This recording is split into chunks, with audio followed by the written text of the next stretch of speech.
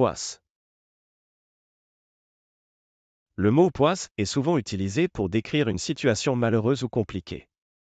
Cela peut être une série de malchances, des problèmes difficiles à résoudre, une chance qui vous fuit, ou bien d'autres choses encore.